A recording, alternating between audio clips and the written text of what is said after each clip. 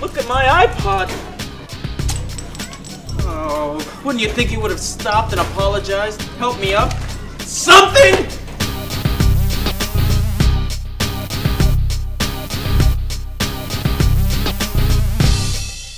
It only takes good manners to change the world.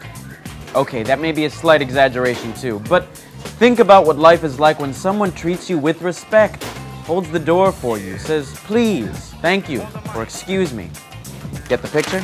We're going to be talking about good manners and 10 rules of common courtesy to always remember. Good manners are about treating other people with kindness and respect and are a source of personal power and self-esteem.